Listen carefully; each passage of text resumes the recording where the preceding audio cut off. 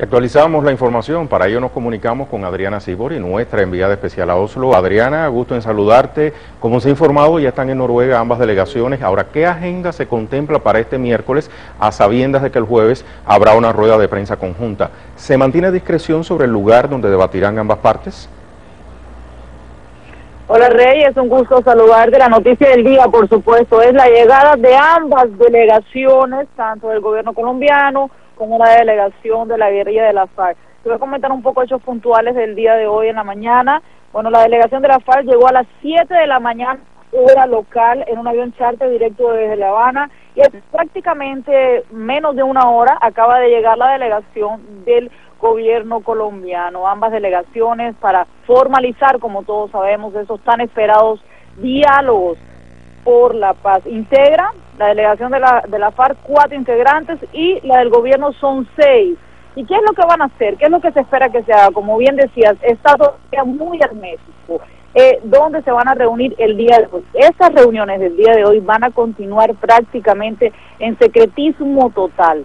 Lo único público han dicho, han repetido tanto la Cancillería, el gobierno de Noruega, como ambas partes de las delegaciones, que mañana en la rueda de prensa se hará público todo lo que han hablado y las y la, lo que van a hacer venideramente, qué va a pasar, de qué van a discutir en la isla de Cuba, que como todos sabemos también, Rey, va a ser eh, lo más fuerte de todas estas conversaciones, más que todo lo que se abre y lo que se dice que lo de mañana va a ser un acto protocolar para formalizar todos estos diálogos de paz.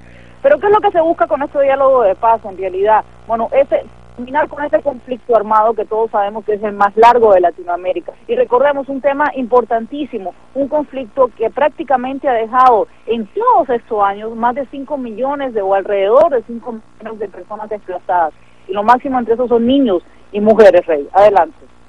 Adriana, mm, partiendo de la próxima rueda de prensa y hechos posteriores, ¿se ha dado a conocer cómo sería el acceso de los medios a la información que se genere en esta ronda de conversaciones, teniendo en cuenta que serán a puertas cerradas?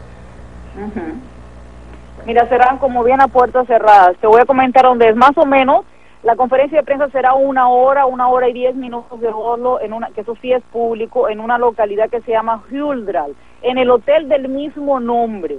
Pero las conversaciones, como dices, tú bien, bien estás diciendo, es a puertas cerradas. Agenda en sí, o sea, más temas en sí es todo lo que sabemos, o sea, lo que se habla del conflicto, lo que van, las acciones que van a tomar de aquí en adelante, cómo se van a mover las dos delegaciones, cuáles son los puntos que van a plantear a partir de ahora, qué se va a resolver. Pero te repito, van a ser a puertas cerradas, a una hora y diez minutos de Oslo, van a hacer la conferencia y por ese mismo lugar, no exactamente, no dicen el lugar, como bien, por ese mismo lugar, cerca de ese hotel donde van a ver la conferencia, prácticamente a 20 minutos, todo el mundo especula que van a hacer ahí a puertas cerradas. En un lugar prácticamente particular, en una casa particular cerrada, nadie sabe a dónde, Rey. Como, como vemos, es un secretismo absoluto sobre eso. Y han dicho por qué las delegaciones y tanto el gobierno de Noruega no quieren que nada salga mal. Esos son los motivos, dicen ellos, por tanto secretismo, Rey.